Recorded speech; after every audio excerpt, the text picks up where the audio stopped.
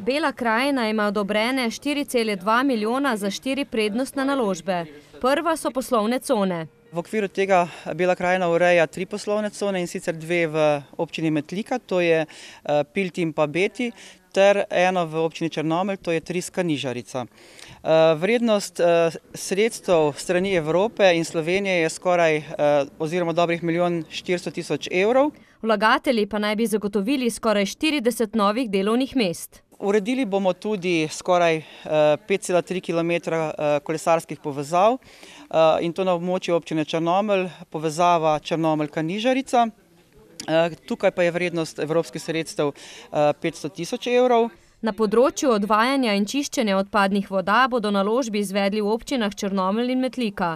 V semiški občini projektov niso prijavili, sodelujejo pa v naložbi Regionalna mobilnost, zato so svoja sredstva odstopili in jih dali skupaj za začetek projektiranja odcepa od Malin pa potem proti Metliki in Črnomlju.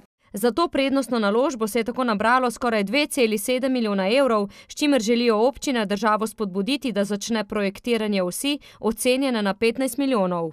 Mi želimo, da zdaj, ko smo nekako uspeli priti do tega, da je izgradnja prvega odseka tretje razvojne osi do Revoza realnost, da je to v bistvu vprašanje naslednjih nekaj let, da se to s tem ne konča, ampak da se takoj nadaljuje naprej. Seveda, če želimo, da se naprej s tem nadaljuje, je potrebno imeti pripravljene projekte.